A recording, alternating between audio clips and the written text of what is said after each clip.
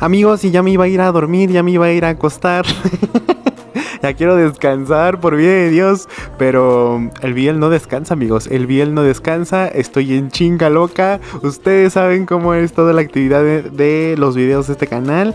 Este, si no lo han visto, métanse, métanse para que actualicen qué, qué rollo, qué nuevo contenido hay por ver.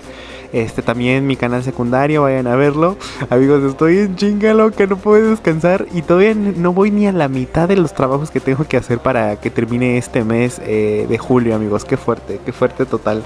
Eh, Amigos, dos, voy a, en este video voy a agregar dos noticias súper chiquititas que están interesantes, la verdad, es que está muy interesante justamente por esa razón, no quería dejar pasar, aunque fuera un video muy cortito. Primera noticia rapidísimamente, Holland, cantante de K-Pop y también eh, actor Biel también actualmente, pues anunció, anunció su segunda serie Biel, amigos, así es, se viene su siguiente proyecto, muy fuerte, muy padre.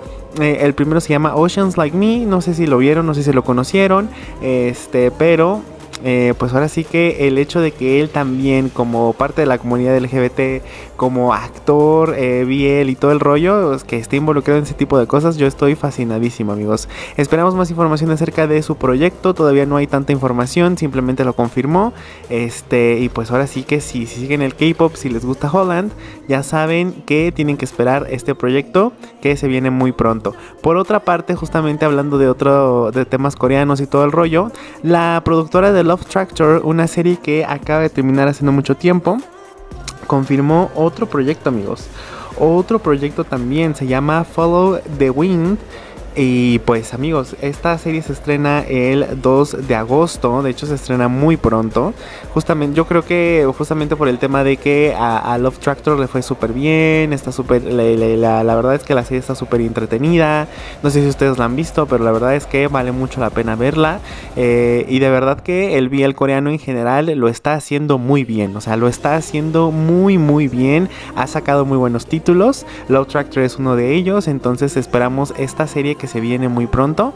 Este 2 de agosto, eh, ahí anótenlo en su, en su, en su listita.